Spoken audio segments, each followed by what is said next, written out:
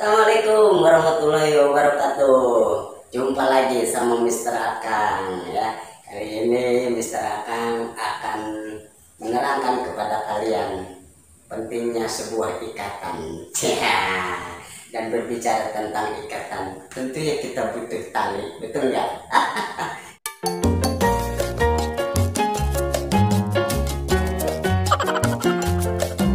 Nih lihat, kagak ada ikatan nih.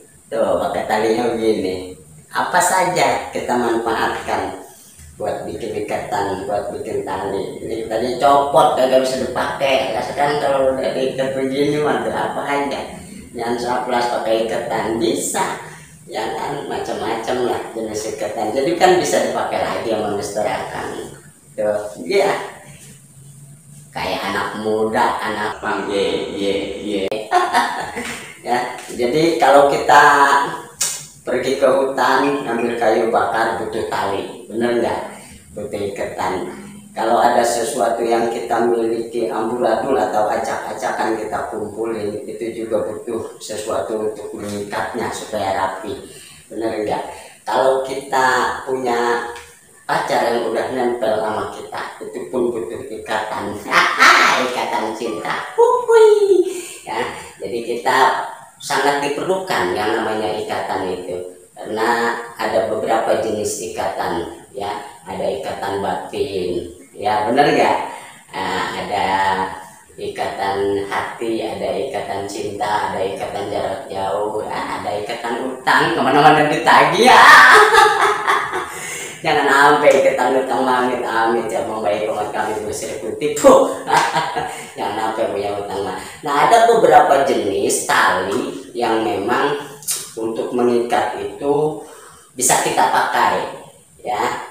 Ada orang kadang-kadang menggunakan tali rapia ya. Kalau bahasa kerennya mah tali plastik loh ya ada juga orang yang kadang-kadang kesulitan di rumahnya ada kain kain dirobekin pakai tali bisa juga ya kan? Nah ada juga orang menggunakan sebagai tali ikatan tuh dadung. Ada yang pakai dadung ya. Ada juga rata-rata pakai tambang. Tahu kan tambang tuh ya ikat apa aja bisa itu. Nah ada juga yang memang kepepet bikin ikatan tuh kagak ada tali dia ada kabel dipakai juga pakai ngikat tuh kabel ya bermanfaat juga. Nah artinya apa pun kalau kita melihat situasi dan kondisi kondisi selama sesuatu itu bisa kita manfaatkan uh, untuk mengikat maka itu akan jadi tali ya kan? Tapi satu hal yang paling penting yang akan perlu sampaikan kepada kalian semua nah, bahwa ada tali yang paling kuat ya yang paling kuat.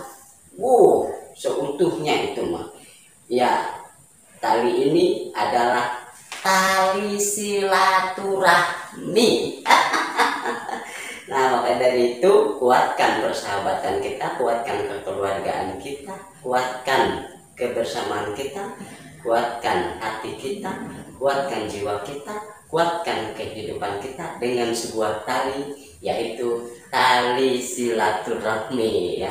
Jangan lupa ya karena tali silaturahmi itu tidak bisa dicari di toko tidak bisa dicari di pasar nggak ada di supermarket ya kan? Nggak dijual ya. Jadi tali silaturahmi itu dibikin oleh kita sendiri mari kita bikin tali silaturahmi untuk memperkuat persahabatan kita karena tidak ada tali yang kuat selain tali silaturahmi Sampai jumpa lagi bersama Mister Akan. Nanti akan kasih tahu caranya bikin tali silaturahmi. Assalamualaikum warahmatullahi wabarakatuh. Ikat terus tali silaturahmi.